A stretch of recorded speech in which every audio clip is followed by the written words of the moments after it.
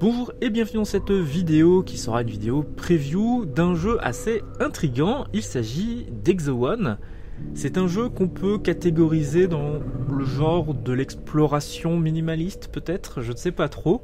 C'est un jeu assez étrange puisqu'on va contrôler une sorte de sphère qui va se déplacer à la surface de toute une variété de planètes euh, aliens ou en tout cas étrangères qu'on ne connaît pas avec toute une variété de surfaces qui pourront être de la plaine désertique jusqu'à la planète océan avec un certain nombre de bâtiments, de structures parfois assez étranges.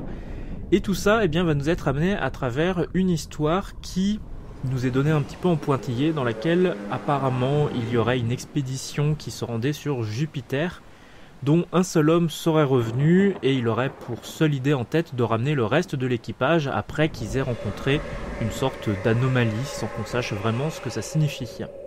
Donc on sait pas trop si on commande en fait notre sphère et c'est le personnage qui est parti les récupérer ou si c'est le reste de l'équipage qui peut-être essaye de rentrer sous une nouvelle forme extraterrestre. C'est quelque chose qui est assez flou et qu'on aura sans doute l'occasion de découvrir dans la version complète du jeu. En attendant, concrètement, qu'est-ce qu'on fait dans ce jeu? Eh bien, comme je le disais, on contrôle une sphère qui va se déplacer à la surface de plusieurs planètes. Chaque planète est une sorte de niveau ou de chapitre. Et l'objectif, eh bien, à chaque fois, ce sera de rejoindre un énorme faisceau lumineux qui est tout au bout de l'écran. Et pour ça, eh bien, on va devoir naturellement se déplacer. Notre sphère, elle a quelques capacités euh, particulières. La première, c'est celle de pouvoir euh, augmenter la gravité, qui va permettre par exemple quand elle est dans une pente descendante de prendre beaucoup plus d'accélération.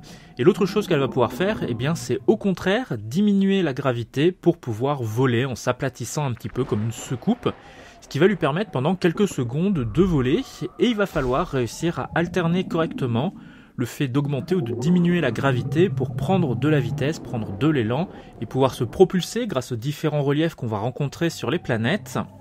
On va avoir de jolis moments de grâce dans lesquels on va réussir vraiment à appuyer sur les bonnes touches au bon moment pour optimiser au maximum notre élan, pouvoir voler pendant quelques secondes, même si le vol est limité en réalité puisque notre sphère va perdre une sorte d'énergie rouge jusqu'à redevenir une sphère et tomber de façon classique. Donc à partir de là, il faudra réussir à prendre de l'élan, même en chutant un petit peu éventuellement, pour reprendre de l'énergie cinétique et pouvoir éventuellement tenter de revoler. On a également un double saut dont j'ai pas parlé, qui permet ponctuellement de s'élever un petit peu plus dans les airs, mais il faudra retoucher le sol pour avoir à nouveau ces sauts supplémentaires.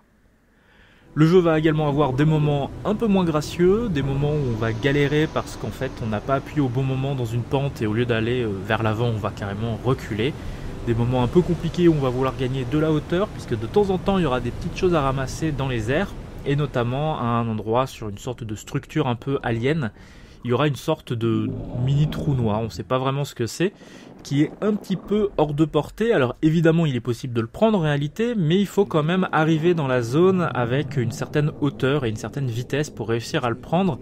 Ce sera potentiellement un petit peu difficile de l'atteindre et atteindre cet élément, eh bien ça va nous permettre d'augmenter un petit peu l'énergie que notre sphère pourra emmagasiner pour pouvoir voler par exemple un petit peu plus longtemps ou aller encore plus vite lors des phases d'accélération.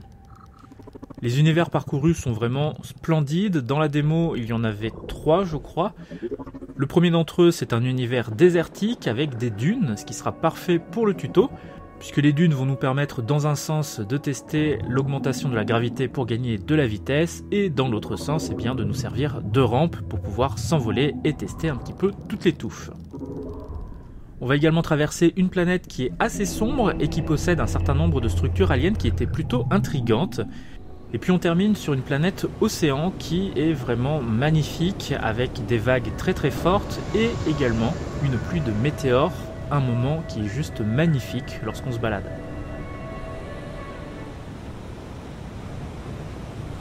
On ressent tout le côté contemplatif de notre voyage, même s'il faut juste essayer de garder un petit peu le cap et de gagner suffisamment de vitesse pour ne pas passer 10 heures sur la même planète.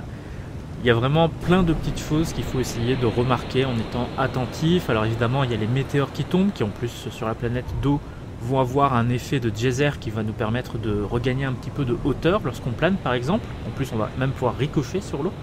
On va avoir des endroits où il y aura euh, du feu qui va euh, jaillir du sol comme des euh, mini-volcans en éruption.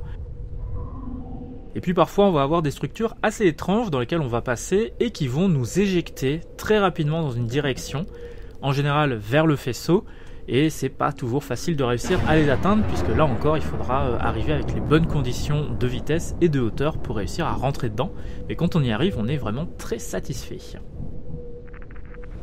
Alors ce Exo One, évidemment, il est très loin d'être un jeu qui conviendra à tout le monde. C'est un jeu principalement contemplatif. On ne fait concrètement pas grand chose, à part éventuellement s'émerveiller de temps en temps lorsqu'il y a quelque chose qui se passe à l'écran. Mais autrement, eh on roule et on plane en attendant qu'il y ait quelque chose qui arrive à l'écran. Alors dans certains niveaux, c'est assez agréable, notamment les deux premiers, et dans la planète euh, avec de l'eau, c'est plus compliqué puisque eh bien, forcément il n'y a pas de sol, à moins d'aller très profondément sous l'eau, et on galère un petit peu à prendre de la vitesse, donc c'est parfois un petit peu inégal, faudra voir sur la version complète ce que ça va nous proposer. Pourtant, j'en ai quand même une bonne impression et je suis vraiment curieux de voir euh, la variété de planètes qui pourront nous être offertes et puis d'en apprendre un petit peu plus sur l'histoire qui justifie que cette sphère roule à travers divers mondes. Voilà un petit peu ce que j'ai pu faire sur Exo One. La démo est disponible sur Steam, vous avez un prologue qui est accessible et le jeu devrait arriver en version complète quant à lui en 2021 sur Windows.